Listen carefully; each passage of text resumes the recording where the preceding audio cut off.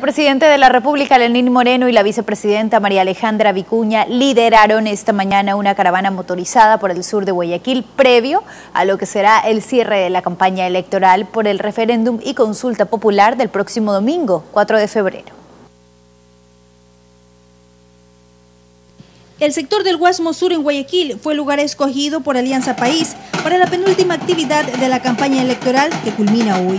Ahí simpatizantes del gobierno se dieron cita con pitos, tambores y banderas para acompañar en la caravana motorizada que estuvo liderada por el presidente y vicepresidenta de la República, quien se mostró convencida que la consulta popular triunfará este domingo. Nosotros no tenemos dudas que el sí va a triunfar este domingo 4 de febrero, sin embargo, más allá de esos resultados que respetaremos, como no puede ser de otra manera, el mandato popular, más allá de esos resultados, eh, creo que reivindicamos lo fundamental es la participación de la gente, la construcción y la consolidación de la democracia. Y es que los recorridos impulsando la propuesta del Ejecutivo se intensificaron por varios sectores, dice el gobernador del Guayas. Hoy hemos recorrido cada barrio, cada sector de Guayaquil y de todos los cantones, los recintos, las parroquias, y nos han demostrado la aceptación por el sí.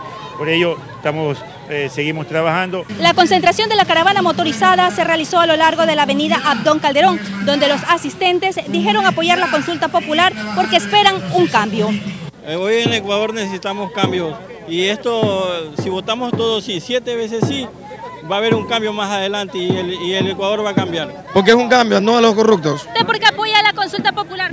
Para el bono es para que nos ayude a toda la gente pobre. Era una extensa caravana que se tomó varias calles del sur y suburbio este de la urbe porteña. Marta Navarrete, Telerama Noticias.